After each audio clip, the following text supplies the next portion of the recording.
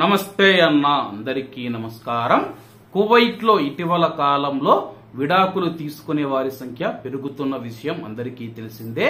విడాకులు తీసుకున్న తర్వాత కూడా చాలా మంది వ్యక్తిగత కక్షలు పెంచుకొని మనం చూసుకుంటే భార్య పైన భర్త కానీ భర్త పైన భార్య కానీ ఆరోపణలు కానీ గొడవలు జరుగుతూనే ఉన్నాయి. తాజాగా కువైట్లో ఒక సంచలన విషయం నిజం బయటికి రావడం జరిగింది.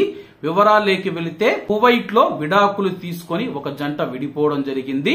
విడిపోయిన తర్వాత పిల్లల తండ్రికి వ్యతిరేకంగా ఆ యొక్క తల్లి మనం చూసుకుంటే తన యొక్క మాజీ భర్తకు వ్యతిరేకంగా మంత్ర విద్యలు మరియు చేతబడి చేయించినట్లు వెల్లడి కావడంతో కుటుంబ వివాదాల అప్పీల్స్ కోర్టు తన యొక్క నలుగురు పిల్లలపైన తల్లి కస్టడీని రద్దు చేసింది. వివరాలేకి వెళితే పిల్లలను పోషించే మరియు శ్రద్ధ వహించే తల్లితో ఉండడం యొక్క ప్రాముఖ్యతను ప్రతివాది యొక్క లాయర్ నొక్కి చెప్పడం జరిగింది. ప్రతివాది సంరక్షకుడిగా లేదా లేకపోతే తల్లి పాత్రను నెరవేర్చడానికి అనర్హకుడిగా ముందుగా భావించడం జరిగింది. అలాగే తన యొక్క క్లయింట్ పైన తల్లి మ్యాజిక్ చేసిందని చెప్పి ఇందులో పాల్గొన్న మంత్రగత్తె క్లయింట్కు తెలియజేయడంతో ఇది ధృవీకరించబడింది.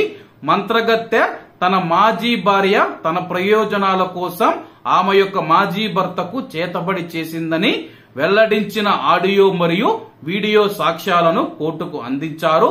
మంత్రగత్తె తన యొక్క సేవలకు చెల్లింపులపైన మాజీ భార్య విభేదించడంతో పరిస్థితి వెలుగులేకి వచ్చింది. అలాగే ఆమె చేతబడి చేసిన తర్వాత ఆ యొక్క తల్లి భార్య ఎవరైతే ఉండారో ఆమె అయితే డబ్బు ఇవ్వలేదు. దీంతో మంత్రగత్తె మనం చూసుకుంటే వెళ్ళి ఆ యొక్క విషయాన్ని ఆ యొక్క కువైటీకి అయితే తెలపడం జరిగింది. నీ మాజీ భార్య నీ పైన చేతబడి చేసింది.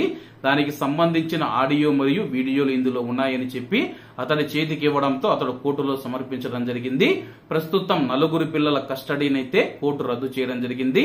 అలాగే ఆమె పైన చట్టపరమైన చర్యలు కూడా తీసుకునే అవకాశం ఉంది. మాజీ భార్య మంత్రాలు చేయడం మరియు కించపరిచే ఆచారాలకు పాల్పడిందని చెప్పి ఈ చర్య చర్యలు బహుదేవత ఆరాధన యొక్క తీవ్రమైన చర్యగా పరిగణించబడ్డాయని చెప్పి కోర్టు తెలిపింది. ప్రస్తుతం ఆమెను అదుపులోకి తీసుకోవాలని చెప్పి అలాగే రాబోయే రోజుల్లో ఆమెకు జరిమానా కానీ జైలు శిక్ష పడే అవకాశం ఉందని చెప్పి న్యాయవాదులు స్థానిక మీడియాకు తెలిపారు. కాబట్టి అందరూ బాగుండాలి అందులో మనం ఉండాలి. అందరికీ నమస్తే అన్న. జై హింద్.